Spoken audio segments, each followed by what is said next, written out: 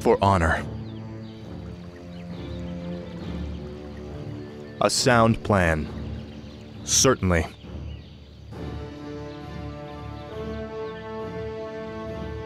Certainly. A sound plan. Our forces are under attack.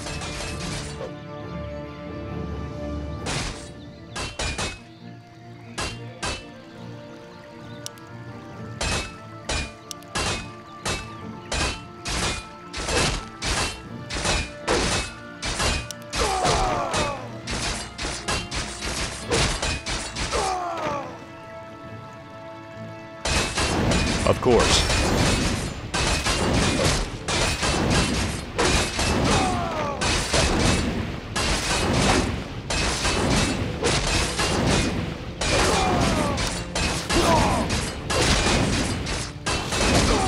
A sound plan.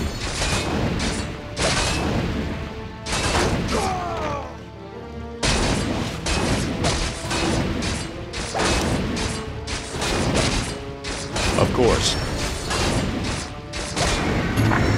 For honor.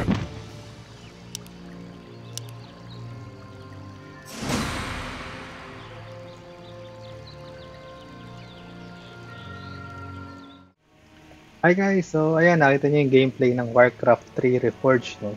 So ah ito yung ah, repack version.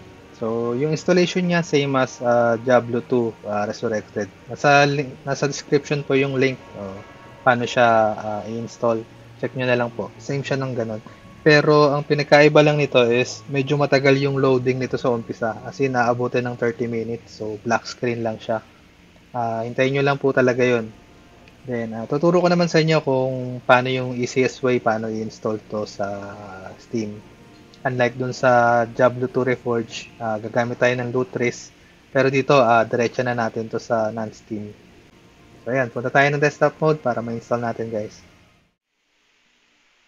Okay, once na nasa desktop mode na tayo, no, ah, assuming na na-download na yung ah, game, then na-install nyo siya dun sa PC nyo, then nakopy nyo na siya dun sa SD card nyo or dito sa mismong Steam.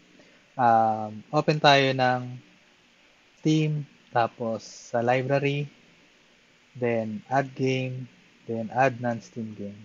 So instead na gagamit tayo ng trace, ito ah, diretso na natin i-install yung ah, game dito. So kung saan nyo siya kinapi, hanapin nyo lang siya. Ako sa memory card, so sa SD, PC game, then Warcraft Reforged. Tapos dito sa file type, ah, all files. Tapos hanapin nyo yung Warcraft 3 launcher. Then open lang po, tapos add selected programs. Tapos right click nyo siya, properties. Then sa compatibility, check nyo po yung force use at Proton experimental ang working sa kanya. Then close nyo na. At yan, ah, launch na po yung game.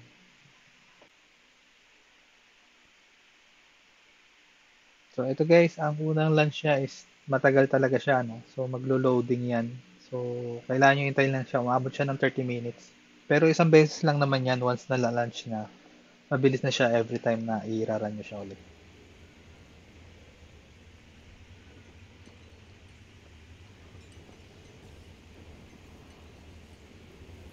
Never paid any heed to the ancient prophecies.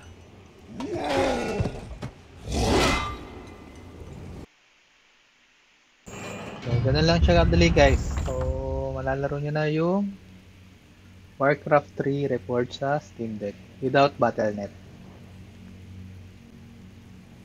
So, yung configuration ng keys guys, kailangan nyo siyang i-config pala. No? Kasi by default, hindi nagana yung mga controls dito. Ah, mouse and keyboard siya.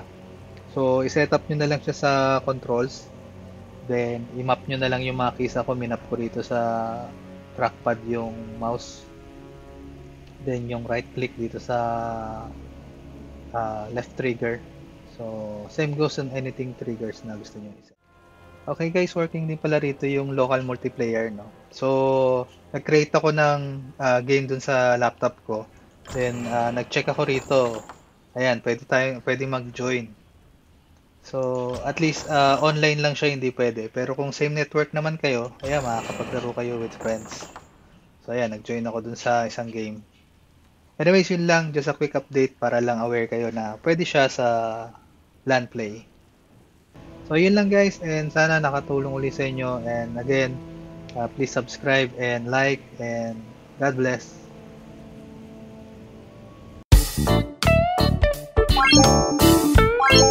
Música